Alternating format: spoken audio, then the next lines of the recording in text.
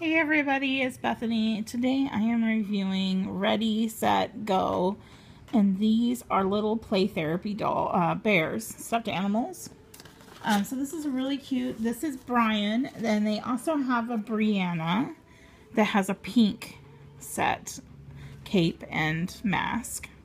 Um, but basically these are used, uh, as many of my readers know, I'm a counselor, um, licensed counselor.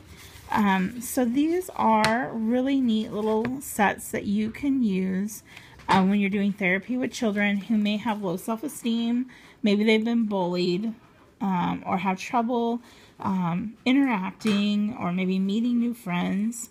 Um, you can use these bears as a way to encourage them. So there's a lot of different things you can do with them. So you can um, help create a safe environment for them when they're using the bear.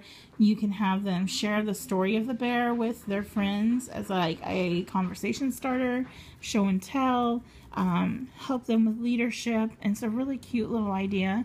He has a little cape and a little mask, a dog tag, a little bow tie, and it's a really soft plush teddy bear. So it's a really cute little set. It comes in a little organza bag and all kinds of little reading materials.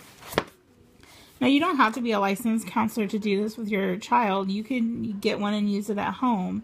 Um, but it really fosters really great um, skills like um, love and positivity, sharing feelings, um, leadership, safety, sharing, rewards, um, all kinds of things.